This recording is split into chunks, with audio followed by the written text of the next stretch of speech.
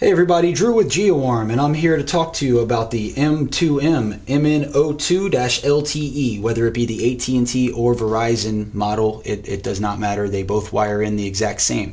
Uh, we are going to talk about a few things here today uh, on this video. Uh, primarily, we're going to talk about getting your communicator wired into the panel um, for both non-interactive and interactive services. So prior to getting any of this done, you want to ensure that your security system is actually powered down. You want to make sure that you've disconnected power to both the power supply and the battery. So this panel is definitely powered down. It has no power at all actually. Uh, so what we're going to be doing first is uh, we're going to be going over the documentation itself. So this documentation is very important for those of you that will be using the interactive app specifically because your login credentials will be located directly on this, located right here. It'll say user and pass.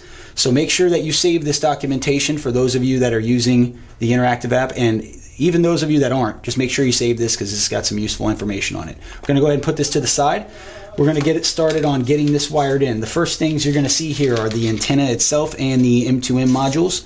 So the antenna sometimes comes disassembled with this piece off of the actual antenna itself. So you just want to go ahead and make sure to get that screwed on. Very, very easy. All right. And then after you do that, you you know those of you guys are probably going to be putting this outside of the box or wherever you're going to put it so uh, you're going to be probably going through these holes or, or feeding it out in this case what i'm going to be doing is i'm just going to do it straight on you know on top of here so you guys can see this. This antenna by the way is pretty neat because it, it's magnetic so it'll stick right to the box. So in this case we'll just get this thing screwed on real quick make sure it's nice and snug on there. Okay see that? Just connects. Very easy now, we're going to go ahead and get the connections to the panel made. These first connections I'm going to make here are for those of you that are not going to be using the R Control app to control it from your smartphone. Uh, this is for strictly just for communications only, just trying to get a signal to central station, and that's all you're worried about. So here we go. The first two wires you're going to do here, for those of you doing this for communications only, you're going to be taking the red wire and going to aux plus like so. Then you're going to be taking the black wire and going to aux negative, which is located directly to the right of the terminal, of, of the one you just went into. So aux minus for black. So we have our connections made for both aux plus and aux minus, which is red and black, respectively.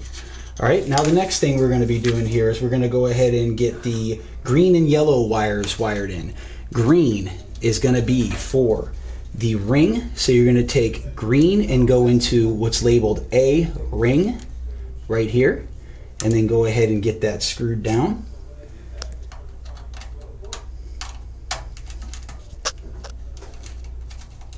Like so. Okay, we got our green connection made. Now, you're going to be taking the yellow wire and you are going to be going into tip, which is located directly to the right of the terminal that you just wired into.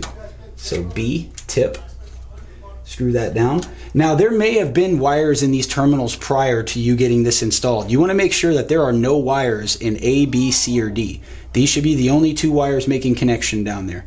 So now you have your connections for both power for, for this device, and now you have communications. So this device is completely configured at this point for communications only. So those of you that are not using the interactive app, you're good to go and you're ready to rock. And now continuing, for those of you that are wanting to get this wired in for interactive um, through the KeyBus, uh, it's actually pretty easy to do here. Uh, what you're going to be doing is you are going to be taking this orange wire that is hanging, because there's only two left, orange and white. The orange wire, you are going to be taking that and it is going to be going into what's labeled YEL on your keypad bus. And you go ahead and you screw that down.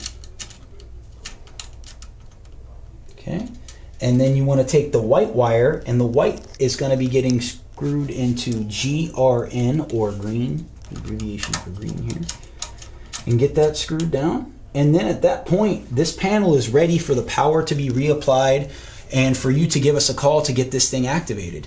Uh, don't forget to document the actual serial number on this M2M which is located right here on the front. It's a six digit number. That's what we're going to need to get this going for you Make sure to subscribe to our YouTube page and click the Show More tab underneath the video where you can view valuable links pertaining to this product, similar how-to videos, and our low-cost, no-contract alarm monitoring services.